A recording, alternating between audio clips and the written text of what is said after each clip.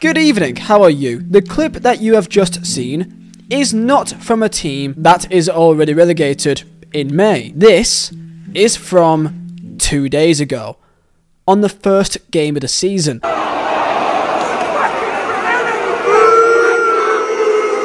It's not looking good at QPR. Queen's Park Rangers, a team that most people only think of when you think of Sergio Aguero.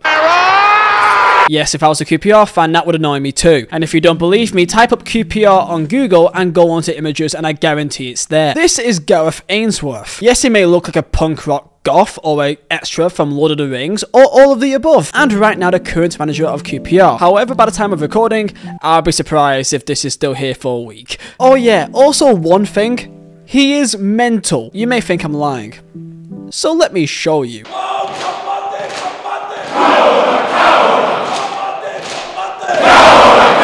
Yes, that is the haka. The haka. You know, the thing that New Zealand players do. This is the QPR team doing the haka. Here's the haka man when he walked into the room, and look at the reactions of the players.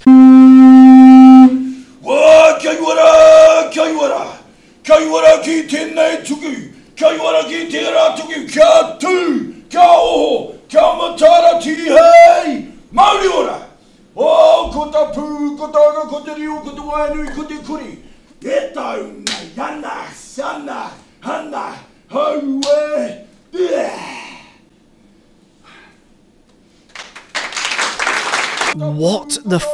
fuck is going on? Hey, hi there. Before we do go any further, please do smash a like on this video and also drop a sub. We've just hit 370,000 subscribers. Let's try to hit 400k by, I mean, at least the end of the year. I think that's more than possible. And also tell me down below your thoughts on QPR, Gareth Ainsworth. Surely can't be there anymore longer. And of course, MezzalaDesigns.co.uk. You guys loved the 20% discount code for the Terry's video. So let's do it again. QPR is the code, 20% off on all orders for the next 48 hours. Of, of course, if you're a QPR fan, I got you covered. Bobby Zamora v Derby, of course it's here. The print and also a feature player print as well. Link down below, top of the description, and of course 400 different items too. Take your pick. And let's get into the video.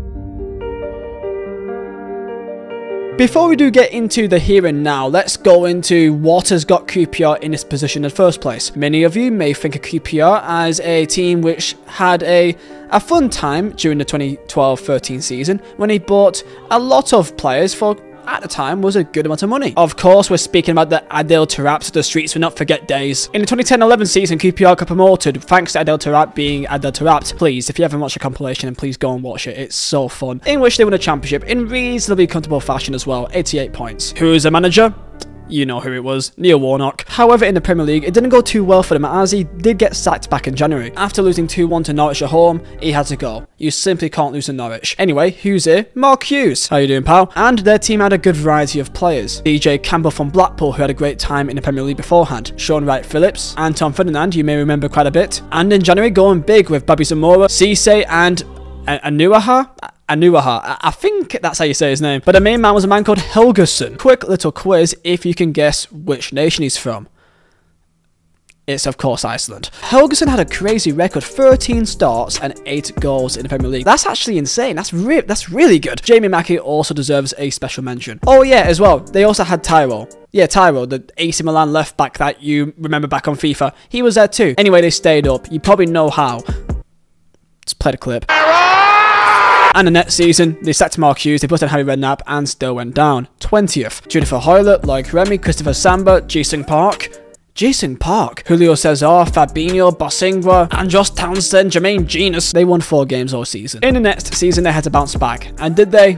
Yeah, obviously. Big signings like Charlie Austin, Matt Phillips, and next thing you know, Zamora. Back in the Premier League and they are here to stay. They signed Anton Ferdinand, so of course they signed Rio, obviously. Nico Kranjcar, Isla, Isla, I think, from Juventus, Eduardo Vargas from Napoli, and bigger players like Sandro, Leroy Fer, Steven Caulker, and Jordon Mutch from Cardiff. This didn't work out so well, as again they went down, and this is when the problems kinda hit. Due to their signings back at the time of FFP, they had a big problem with something called a wages to turnover ratio. QPR's wage bill in 13-14 of £75 million was the 8th highest in the Premier League, spending insane amounts on wages to bring in players, and because it didn't work out, it kind of creates a problem. This was found and they later were ordered to pay a £40 million FFP fine back in 2017. Continuing on from that, they also had a transfer embargo back in 2018 as well. So this means that about £7 million go straight towards paying this off for the next couple of seasons, and that is something that we've seen in the last couple of years since they went down since 14-15. Back in these days, power payments did exist, but it wasn't as incredible as it is now. So simply put, they had to really sell players to buy players. This means the likes of Matt Phillips, Leroy Fer, Alex Smithies, Luke Freeman, and of course the biggest of them all, a Sutton baller called Eze. To state how big this really impacted QPR, back in 1920, they only spent 60 thousand euro across the entire year, relying only on free transfers and loans. If you think this is bad, back in 1819, they also only had five incomings on loans and free transfers, with zero spent across any transfer fees. 1718, only 500,000 grand spent. They did spend relatively decent size to get back to Premier League, spending about 15, 14 mil back in 15-16 on like Luongo, Conor Washington, Alex Smithies, but it just never worked out. So throughout this four to five year period, QPR was pretty much stagnant. 12th place, 18th place, 16th place, 19th place, 13th place, 9th place and 11th place. Some exciting players here or there, but it never really came together. But in the 2022-23 season, things got tasty. QPR welcomed a man called Michael Beale, who was the Aston Villa assistant coach, and during his time at Villa with Steven Gerrard, many people thought that he was the real genius behind his success at Rangers, as he also followed Gerrard at Rangers too. QPR's team for the season was relatively exciting with some decent young players in there that can, with potential, get better. That is the key word for all of this to keep in mind. Young, potential, maybe not proven for the here and now. Under Michael Beale, they started incredibly. Okay, maybe not the first games where they lost to Blackpool and then drew to Rotherham, but then Watford away happened. Again, no, not from last weekend. Some decent players in Ilias Chair, Chris Willock, some decent young defenders in Jimmy Dunne and Ethan Laird that's looked that they can crack on. They continued throughout the month of September and October by winning a ton of games. Despite losing away to Luton, they went on and won 6 out of 8 games. That is an incredible run of form in the championship and with this they were in the top 2. Actually even better, in late October, they were top of the championship with 16 games played, after beating Wigan 2-1. It did look like things were on the up massively for QPR, and then Birmingham away happened. And Birmingham, Birmingham away can always be a tricky team. I mean, on paper, they had more possession, more shots, so maybe it was just an unfortunate game. And then they didn't beat Norwich away. Still a tough team, it's fine. Then they lost to West Brom at home. Okay, West Brom is still a tough team. No, they still got some good players. Then they lost to Huddersfield at home. And it was at this moment that it got a bit concerning. Even with a poor run of games, they were still in a relatively healthy position in the championship. I mean, it ended pretty poorly, but hey, after the World Cup break, they can have a bit of time to actually maybe rethink and get in some players that could be a bit tired or injured and then restart again for the new season. Keep in mind that throughout the World Cup, they were 7th. They were 7th place. They were pretty much in the playoffs still. But I do know that QPR fans will be screaming something very important at me. That there is one key thing that I've kind of missed out on this entire couple of games. Around the same time period for that Birmingham away game, there was a lot of interest from Wolverhampton Wanderers in Beale. A lot of people were concerned that he'll go and move from QPR and would jump ship, and he actually committed in fact, to staying. QPR fans loved him for his loyalty, making even banners. Well, something was happening behind the scenes. Wolves he could turn down. But Rangers is a different story. So throughout that Winter World Cup break, Beale left QPR to go to Rangers. And this is when it gets a bit sad for QPR. Now, maybe it was a problem to be having Burnley at home for the first game that went on to win the league. Preston away, 1-0 win, they're back onto it. So they didn't win for 11 games. And this is where our special best friend comes in. Gareth Ainsworth. No, actually, no, it's a man called Neil Critchley. I'm not going to speak too much about Neil Critchley because he's pretty much forgettable. But he was at Blackpool he did a relatively decent job. Then went to Aston Villa from being a manager at Blackpool. So then when Beale went to Rangers, QPR thought, well, we signed one guy that was an assistant coach at Aston Villa that did well. Let's do it again. And Critchley were hired. And then fired about two months later. And now comes Gareth Ainsworth. And here's the haka. Just look at the cringe. It's so beautiful. Okay, QPR was in a pretty rough spot, and their first game they lost at home to Blackburn and then lost away to Rotherham. But they did beat Watford 1-0, and maybe the tide was turning. That new manager bounce is now arrived, and the next game got Blackpool away. That's got to be a good result, right? That, that They can take them on. They can go and beat Blackpool. They lost 6-1. Yeah. they lost 6-1 to Blackpool who Blackpool was also like dead in the relegation zone as well. Until for some reason, and as a Burnley fan, I, I thank them for this because we then beat our main rivals and won the league at their ground next, next week. But they beat Burnley away. To this day, I still have no idea how, but they did it. Threatened to be relegated despite them being top of the league in October. Hey, maybe there's some hope there. And now it's Watford.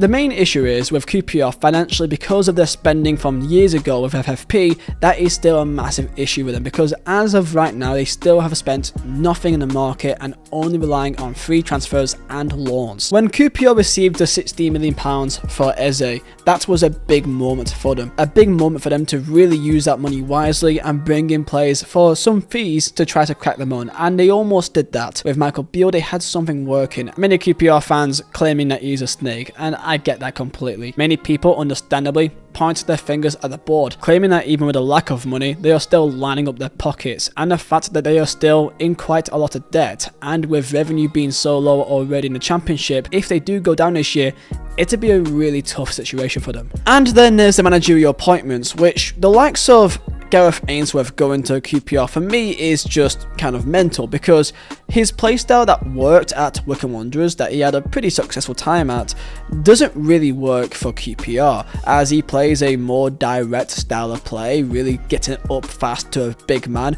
to hold it off, and that's kind of how they play.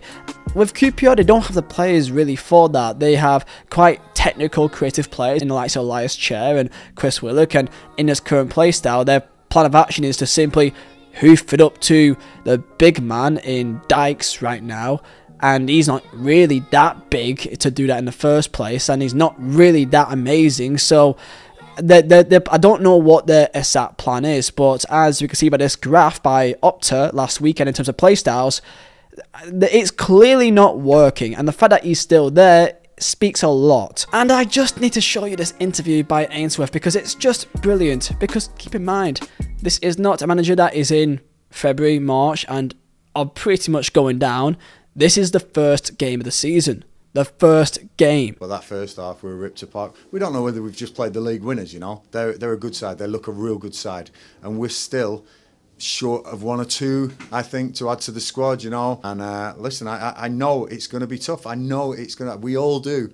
Uh, just a bit of patience because I'm building. I've learnt a lot today again and, and I'll keep building, I'll keep working. First game of the season, okay, we've lost it, and we've lost it heavily, right?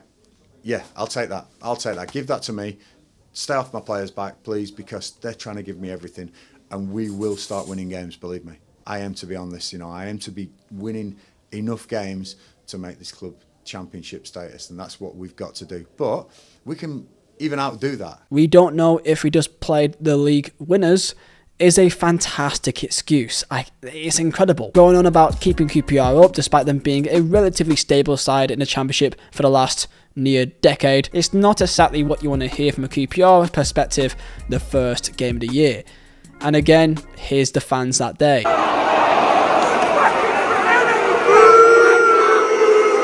But financially, QPR are still in quite a mess, still in debt and paying off FFP, and in a situation that they had to sell players to really buy players They've not got many assets. The main obvious ones are the likes of Chris Willock and also Ilias Chair, but without them, what hope do they really have? Not much. Their next game, as we speak, is against Cardiff City away, and if they do lose there, it may get really sticky, as they got Ipswich at home, which look like a great side, and then some big hard games likes of Southampton, Middlesbrough, Sunderland, Swansea, Birmingham, and Coventry, and also Leeds. There's a good chance that I may speak in September, late September, and QPR could be about five, six points adrift at the bottom of the table. That is very likely. Anyway, so tell me your thoughts down below in the comments about QPR and their current situation. Do you see them going down this year? I think they are in a real mess right now, but maybe if Ainsworth gets sacked at a relatively fast rate, then they still may have a chance of staying up, as they do have some decent players there, some decent creators, so it may not be too late. But tell me your thoughts down below, and I'll see you guys next time for another video. Peace out.